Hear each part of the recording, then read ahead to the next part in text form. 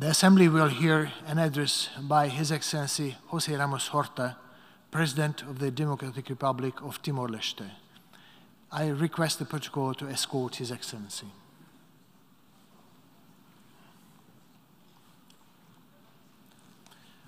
On behalf of the Excellency, I wish to, uh, uh, I, I, have the honor to welcome His Excellency Jose Ramos Horta, President of the Democratic Republic of Timor-Leste, and to invite him uh, to address the Assembly.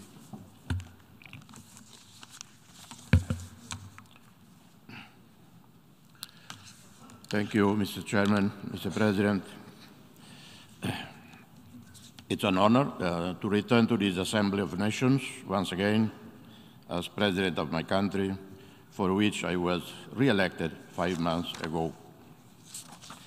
I, uh, I'm conscious of time, so I, I have distributed, we have distributed my full speech, and I will skip over uh, many uh, pages for, the, for as courtesy respect uh, to this assembly. Like almost every country on the planet, Timor-Leste endure multiple climate change catastrophes, prolonged dry season, followed by floods, the COVID-19 pandemic, and now the global economic impact of Russia-Ukraine NATO confrontation. We had minimal direct impact of the COVID-19 pandemic in terms of hospitalizations and fatalities. More children died of dengue than COVID-19. But the policies we undertook to prevent the spread of this insidious virus, such as curtailing free movement of people and goods, inevitably impacted on the livelihood of rural and urban people across the country. Farmers and traders suffered the most. To protect our children, we closed down schools, even though we knew that this decision would have serious detrimental consequences for the hundreds of thousands of our children and youth who had to miss school and miss out on the one meal a day program, which provides a meal for every child in schools across the country. In the very early days of the onset of the pandemic, our health authorities and WHO and other UN agencies on the ground scramble, work hard day and night to prevent the much feared virus from killing our people. Thanks to the prompt actions taken by the government, supported by our partners and friends, we avoided a public health crisis. Australia proved to be a true sisterly neighbor, promptly delivering every assistance our fragile health system required.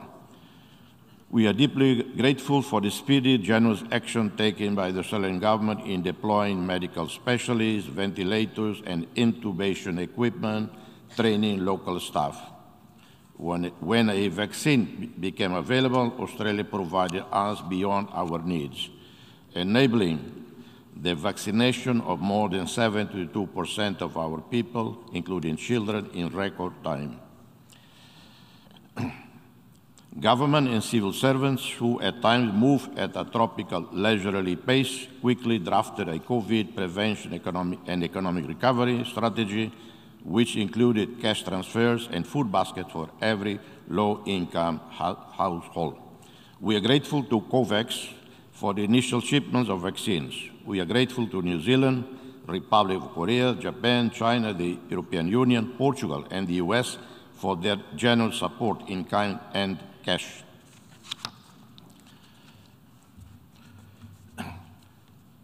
In a world plagued with conflicts and man-made catastrophes from Myanmar to Afghanistan to Yemen to Ukraine, Timor-Leste is an oasis of tranquility. Common criminality is very low. Armed robbery is unheard of. We do not have organized crime. Our Catholic majority population, 98 percent, and the Protestant and Muslim brothers and sisters communities live side by side in total harmony. Timor-Leste does not have a single case of ethnic or religious-based tension and conflict. In 2023, Timor-Leste will hopefully gain WTO accession. Another natural extension of our country's regional and global economic integration. ASEAN and WTO accessions are driven by Timor-Leste's own economic interests, such as domestic economic reform process, to ensure healthy, enabling environment for FDIs and national, national investment and diversification of our economy. ASEAN membership is a strategic imperative, as important as Timor-Leste stability and prosperity, as much as peace and prosperity in Timor-Leste should matter to ASEAN. As much as peace and prosperity in our neighborhood benefits all, conflicts or threats of and risks originate in one country inevitably impact on others. At independence 20 years ago, we had only 20 medical doctors. Today, we have more than 1,200 doctors for a population of 1.5 million. These would not have been realized without Cuban solidarity. At independence 20 years ago, life expectancy was less than 60. Now, a Timorese woman can expect to live beyond 71 years of age.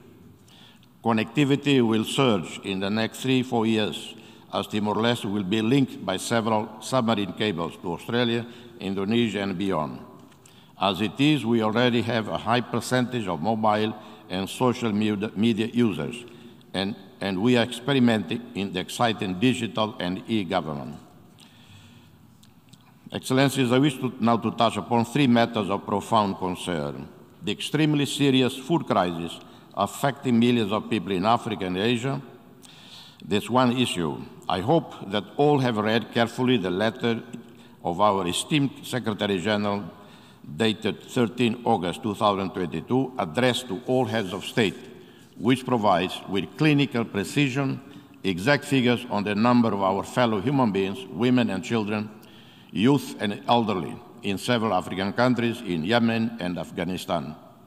The World Bank Food Commodity Price Index, which reached a record high in in norm, nominal terms during March, April 2022 went up by 15% between April and May 2022 and is more than 80% higher than two years ago.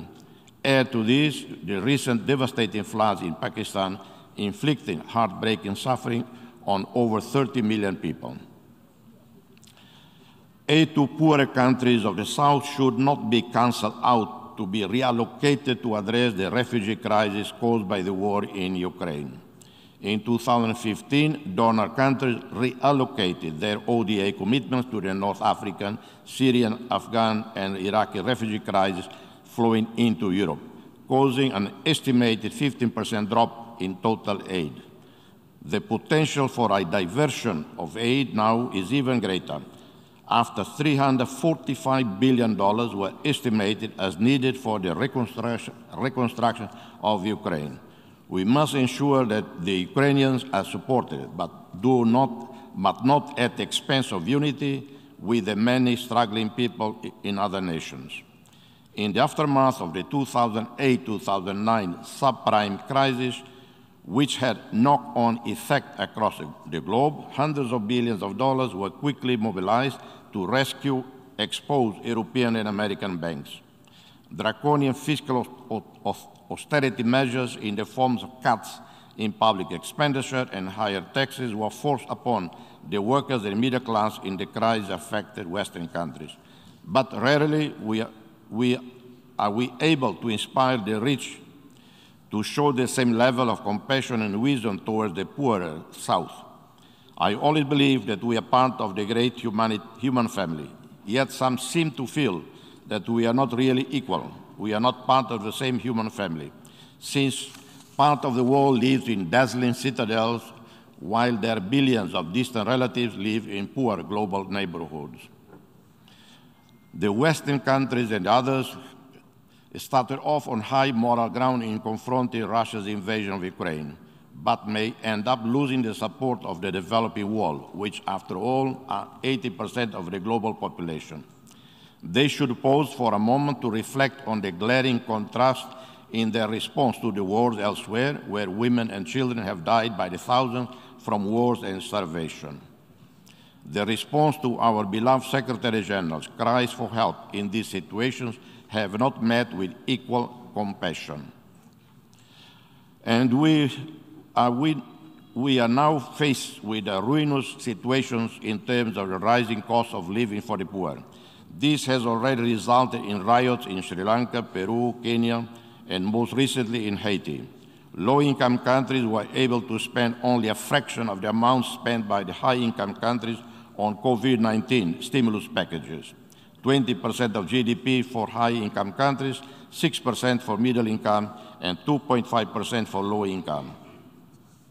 As a result, many countries had to increase their debt. Debt levels now limit us in protecting the weakest and most vulnerable from the effects of rising prices, let alone allow us to increase our efforts to address the climate emergency which threatens our very existence. The number of developing countries in debt distress or at high risk has doubled since 2015 to 60 percent. But equally, I want to address our cries for solidarity and fraternity to the billionaires and the trillionaires of Asia, Africa, and Latin America. There is more liquidity in Asia than in Europe and USA combined.